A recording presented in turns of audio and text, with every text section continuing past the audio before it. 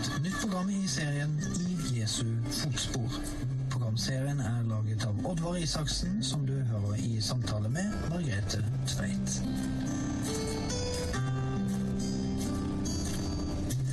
Jesus er nå midt inne i sin vandring i landområdet Perea, som ligger på den andre sida av Jordan som en smal landstripe ned mot Dødehavet. Og her har han nettopp fortalt lignelsen om et fikentre som mangler frukt, til tross for at det var planta i en fruktbar vingård.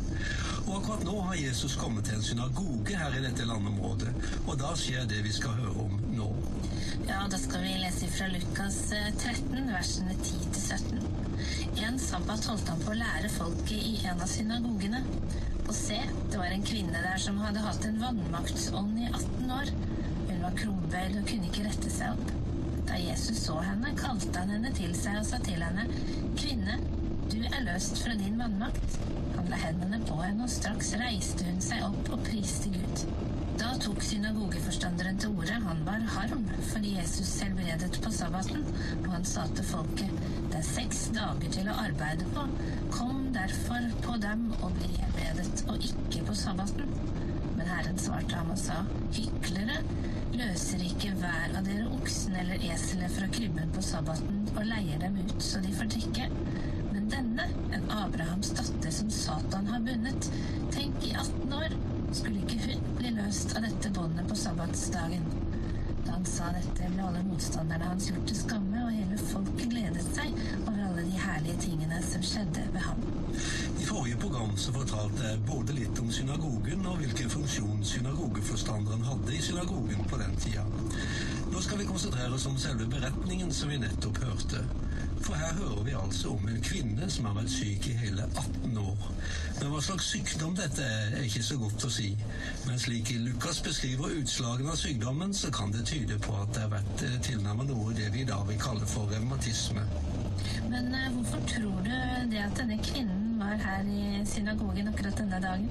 Svaret på det kan være så enkelt som at det var her hun hørte til. Hun elska Guds hus og samfunnet der.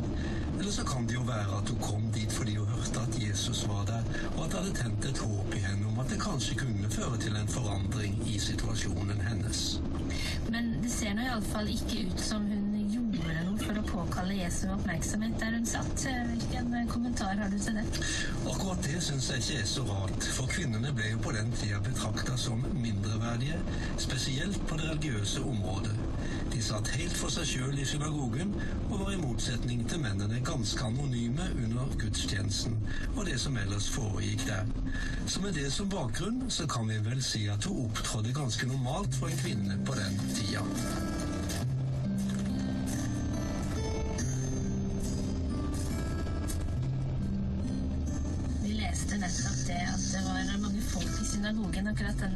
Dagen her. Allikevel så ser jo Jesus denne kvinnen. Hvorfor tror du at han la spesielt merke til henne?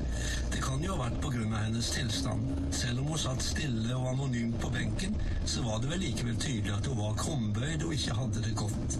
Men det kan også være at Jesus fikk en tilskyndelse i sin ånd om at her var det et menneske som trengte ham på en spesiell måte. Det hadde hendt før i tjenesten hans og var slettes ikke uvanlig for han. Men det er jo ganske tydelig i den teksten som vi leste sammen, at det er Jesus som er den som tar initiativ i forhold til helbredelsen. Mens hun i gjaldt, hun gjorde jo ikke noe som helst for å vekke oppmerksomheten hans. Var dette vanlig i Jesu møte med syke mennesker? De aller fleste gangene vi leser om at Jesus helbreder mennesker, så er det de syke sjøl eller noen rundt dem som tar initiativet. Og nettopp derfor syns jeg det er så godt at vi har denne beretningen som vi tar for oss nå. Den viser oss at Jesus ser de som er i nød, selv om de ikke selv verken har frimodighet eller kanskje ikke orker å verken be eller oppsøke Jesus. Og denne kvinnen vi hører om her, ba ikke om å bli helbreda, det var i stedet Jesus som tok initiativet overfor henne. Men hvordan tror du at denne kvinnen reagerte da, på den måten som Jesus håndterte hele denne situasjonen på overfor henne? Hun må jo ha blitt helt overvelda over at Jesus ga akkurat henne oppmerksomhet. At det var henne han talte til. Ja, at det var henne av alle de som var samla i synagogen denne dagen, som han ba om å komme bort til seg.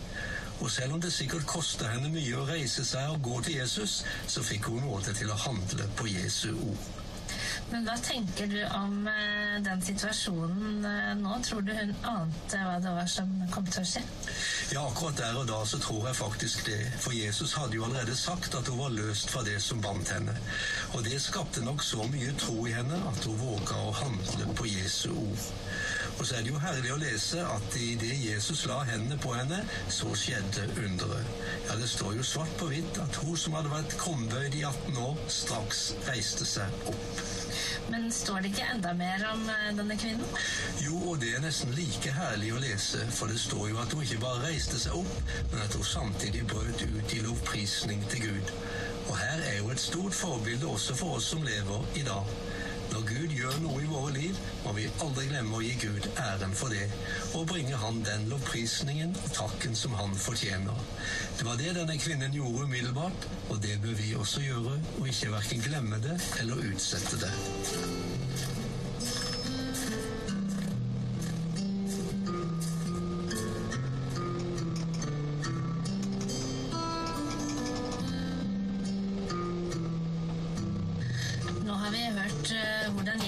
Jesus eh, så denne kvinnen midt i folkemengden der i synagogen, og også helbredet henne.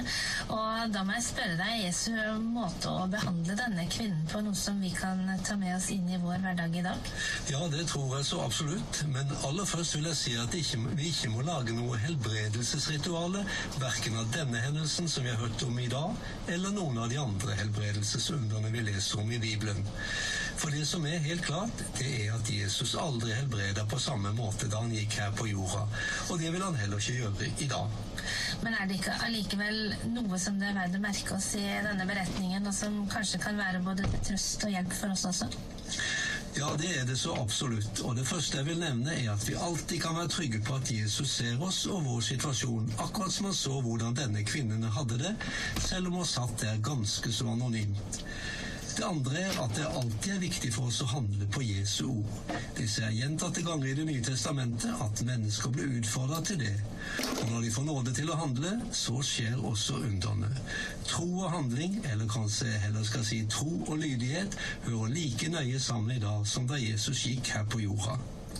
Men er det ikke også noe av det Jesus sier her i denne beretningen som det kunne være godt å ta med oss eh, i dag også? Jo, det er sant og visst, og da tenker jeg spesielt på det Jesus sa til kvinnen, og som lød slik. Kvinne, du er løst. Ja, egentlig så sier Jesus, du er og blir løst, og det er jo enda sterkere. Og det som også er så godt, det er at disse ordene av Jesu munn virker på samme måte i dag. Denne kvinnen var bundet av en vannmaktsom og ble satt fri i et nu av Jesus. Du som lytter nå, er kanskje bundet av helt andre ting, men Jesu ord lyder også til deg i dag. Du er og blir fri. Må Gud gi deg nåde til å ta det til deg i den situasjonen som du er i akkurat nå. Jesus er nemlig fortsatt den som løser bånd og setter fanger fri, som vi synger i en sang.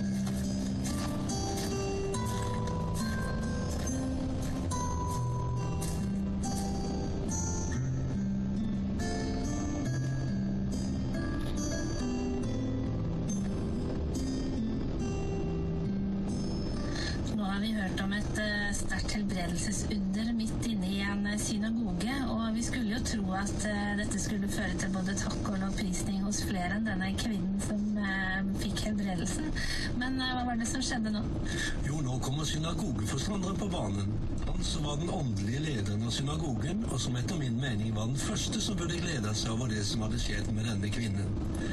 I stedet så holder han et lite innlegg som iallfall tar pusten av meg, og jeg må bare si at det går an. Her har en kvinne som har vært plaga med sykdom i 18 år, blitt frisk. Og så er den eneste kommentaren fra synagogens øverste åndelige leder at det skjedde på feil dag. Det ser faktisk ut som han ble så opprørt av bruddet på sabbatsbudet at han helt overså det store underet som hadde skjedd i en syk og plaga kvinnes liv. Men hva, hva tenker du om eh, resten av de som var der? Tror du uh, denne synagogeforstanderen var alene om denne holdningen som vi har hørt nå?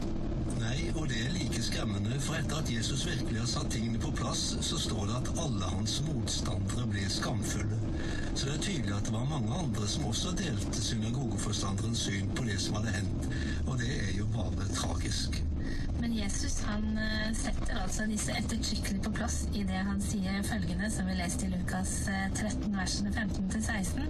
Hyklere løser ikke hver av dere oksen eller eselet fra krybben på sabbaten og leier dem ut så de får drikke. Denne, en Abrahams datter som Satan har bundet, tenk i 18 år, skulle ikke hun bli løst av det båndet på sabbatsdagen. Vi kan vel trygt si at Jesus ikke sparte på kruttet her, og det gjorde sitt til at de som var mer opptatt av sabbatsbudet enn eh, at mennesker ble satt fri, ble skamfulle. Og så står det heldigvis også at folkemengden gleda seg over det som hadde skjedd, og det er jo godt å ta med oss fra denne beretningen.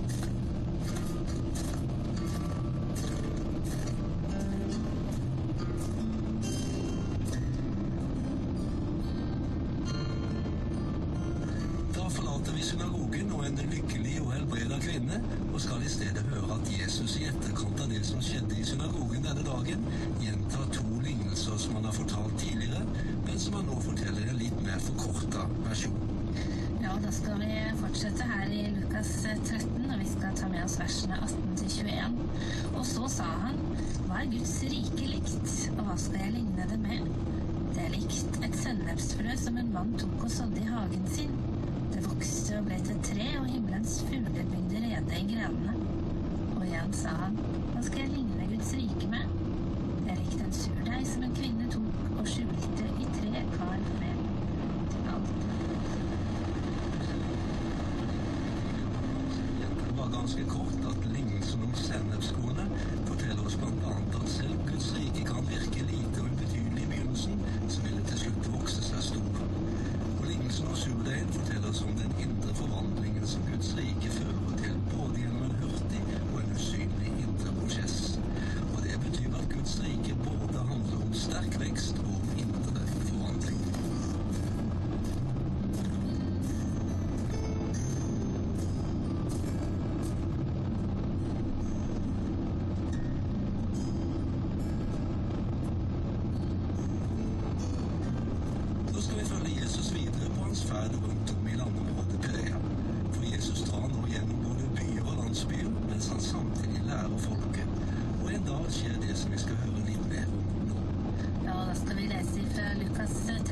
Versene 23 til 30.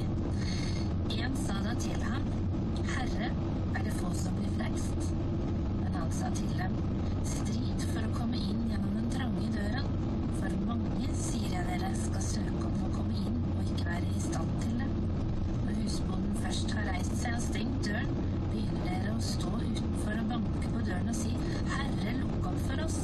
Og han skal svare og si til dere, jeg vet ikke hvor dere er fra. Da begynner dere å si, vi åt og drakk for øynene dine, og du lærte på gatene våre. Men han skal svare, jeg sier dere, jeg vet ikke hvor dere er fra.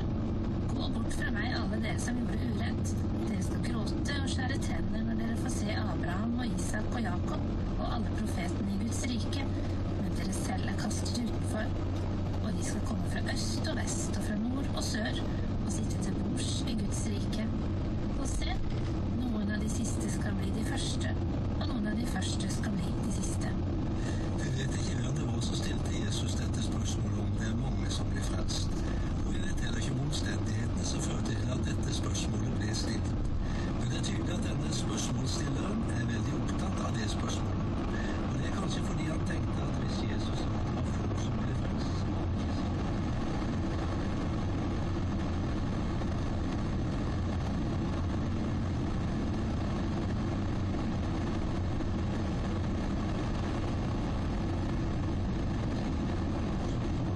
Så hvis denne mannen hadde forventa å få et helt klart antall, så får han ikke det. Men det Jesus legger vekt på i svaret sitt, er at det kreves en helhjertet innsats for å bli frelst. Ordet strid som Jesus bruker her, er henta fra idrettens ve- verden, og det er det samme ordet som er brukt om sportskonkurranser. Men det er selvfølgelig ikke dermed sagt at det er menneskelige anstrengelser som gir adgang til Guds rike, men at det er viktig å ha noe av samme innstillingen som idrettsutøverne har. Det er noe av det samme som Paulus er inne på i flere av sine brev, og som vi skal høre mer om nå. Ja, og da skal vi starte med å lese fra Filipperne 3, vers 13 og litt utover. Brødre, jeg mener ikke om meg selv at jeg har grepet det, men ett gjør jeg, jeg glemmer det som ligger bak og strekke meg ut etter det som er foran, og jage mot målet til den seiersprisen som Gud har kalt oss til der ovenfra i Kristus Jesus. Og videre skal vi lese fra 1. Timoteus eh, kapittel 6 og vers 12. Strid troens gode strid, grip det evige liv som du ble kalt til, du som òg har avlagt den gode bekjennelsen for mange vitner. Det var Paulus ord. Men eh, nå går jeg litt tilbake til det Jesus ellers er inne på i det vi hørte lest fra Lukas 13. For det forteller oss at det i Guds rike ikke er noen som får særbehandling. Det er bare to grupper til slutt. Og det er de som er innenfor, og de som er utenfor. De som er innenfor, er de som skal sitte til bords i Guds rike, altså de som blir frelst. Men de som er utenfor, beskrives på verst tenkelig måte. Men hva er det som avgjør i hvilken gruppe vi mennesker da til slutt vil befinne oss i? Det er det som er det alvorlige, at det er her i livet vi avgjør dette. Det betyr at hvis du tar imot Jesus som din frelser, så vil du være med blant dem som sitter til bords i Guds rike. Hvis du ikke gjør det, så vil du være blant de som ikke kommer inn der, men havner på et helt annet sted. Det siste er langt fra hyggelig å snakke om, men det som virkelig er hyggelig å snakke om, det er det Paulus sier i 2. Korinterne 6,2. Se, nå er nådens tid, si nå er frelsens dag. Og Gud gir deg nåde til å benytte deg av den nådetida i dag. Men før vi avslutter helt for denne gangen, så hadde det vært litt interessant å høre hvilken kommentar du har til det siste verset som eh, vi leste sammen fra Lukas 13, der det sto å se, noen av de siste skal bli de første, og de første skal bli de siste. Hva er det Jesus mener her? Det er jo et vers som viser oss at Bibelen i sannhet er en annerledes bok, og at mye av det som står der, er annerledes enn slik vi vanligvis tenker. Gud verdsetter helt andre ting enn det vi gjør, og derfor kan også sluttresultatet bli helt annerledes enn det vi hadde tenkt det. Men hva kan Jesus egentlig ha ment med sa? Han kan ha ment at de som til å begynne med var langt borte fra nåden, nemlig hedningene, vil komme foran de som først var nær Guds rike, nemlig jødene. Eller så kan han ha ment slik som en annen oversettelse sier det, noen av de som er blitt foraktet her i livet, de vil bli høyt æra da. Men uansett hvilken tolkning vi legger til grunn for dette, så er det godt å vite at det er Gud som vil ha det endelige ordet, og det er hans dom som alltid vil være rettferdig. Det var eh, slutten på Jesu fotspor for denne gang. Vi er kommet eh, til veis ende. Neste gang så skal vi vandre videre etter Jesus i Perea og annet høre om at han helbreder en eh, mann med vattersånt. Du har lyttet til programmet I Jesu fotspor. Denne serien er laget av Oddvar Isaksen, som du hørte i samtale med Margrethe Tveit. Programmet er produsert av Radio Philadelphia i Kristiansand ned gratis på philadelphiakristiansand.no eller via iTunes.